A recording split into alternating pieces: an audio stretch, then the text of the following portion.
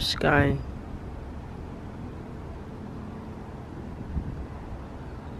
Ooh,